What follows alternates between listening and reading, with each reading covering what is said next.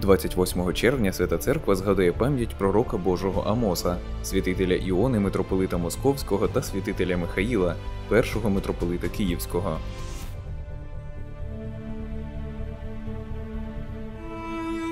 Святий пророк Амос, третій з 12 малих пророків, жив у 8 столітті до Різдва Христового. У цей час єврейський народ був розділений на два царства іудейське та ізраїльське. Пророк Амос був іудеєм, уродженцем села Фекуї. Простий і невчений, але сильний гарячою вірою і ревністю пастух був обраний Господом на пророче служіння і посланий в Ізраїльське царство для викриття нечистивого царя Єровоама і відступників від Бога ізраїльтян. Пророк передбачав великі лиха, яким повинні були піддатися Ізраїльське царство та язичницькі народи, які його оточували за своє нечестя. За свої викриття пророк Амос неодноразово переносив побої і вигнання, але він все частіше погрожував неминучими лихами та продовжував закликати ізраїльтян до покаяння.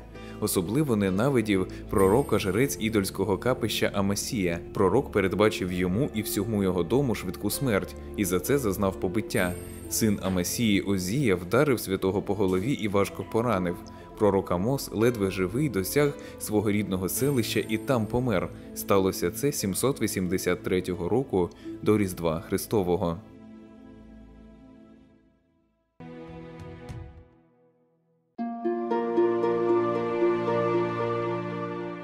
Святитель Іона, митрополит Київський, Московський і всієї Русі чудотворець, народився в місті Галич в благочестивій християнській сім'ї. У 12-річному віці юнак прийняв постриг в одному з галицьких монастирів, звідки перейшов московський Симонов монастир, де багато років виконував різні послухи. Згодом Іона був поставлений єпископом Рязані і Мурома. У 1431 році помер святитель Фотій. Через п'ять років після його смерті за доброчесне і святе життя митрополитом Київським, які на той час проживали в Москві, був обраний святитель Іона.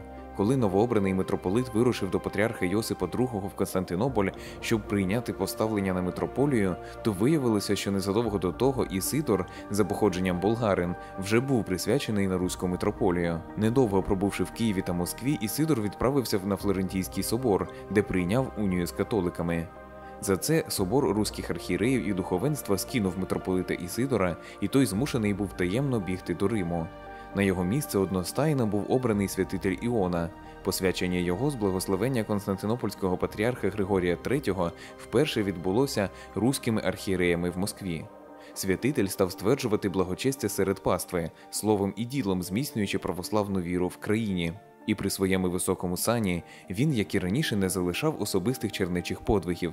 За труди на благо церкви Христової святитель Іона удостоївся від Бога благодатного дару творення див і прозорливості.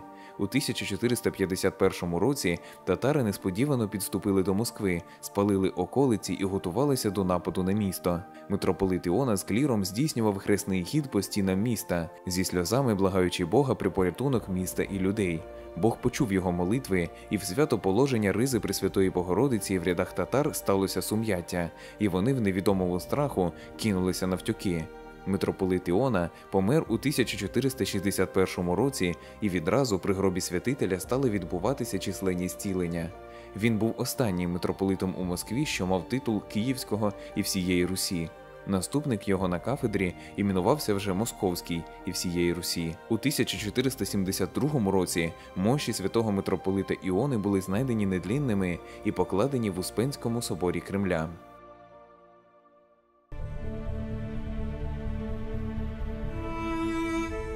Митрополит Михаїл був родом із Сирії. У 988 році під час хрещення Русі він був присланий до князя Володимира в Корсунь патріархом Царгородським. Звідти він прибув до Києва, де став ревно розповсюджувати християнство. З благословення митрополита Михаїла князь Володимир побудував у Києві найбільший храм на честь Успіння Пресвятої Богородиці, званий ще Десятинним, куди перенесли раку з мощами великої княгині Ольги.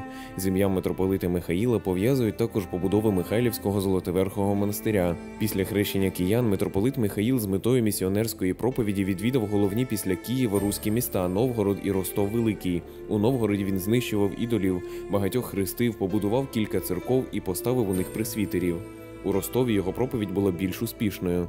Він хрестив безліч людей, спорудив велику кількість церков, висвітив для них присвітерів і дияконів, встановив чин церковного богослужіння і управління.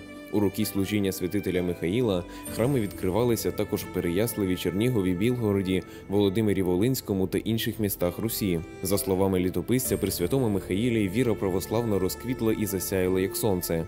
Святитель Михаїл відрізнявся лагідністю, смиренням, невтомністю в працях і був справжнім батьком для своєї пастви, мудрим ієрархом, який поставляв присвітерів і навчав всіх жити в страсі Божому. За свідченням Никонівського літопису, святитель Михайло відійшов до Господа в Києві у 992 році. Спочатку мощі святителя спочивали в Десятинній церкві, а близько 1103 року при Печерському ігумені Феоктисті вони були знайдені нетлінними і перенесені в Антонієві печери.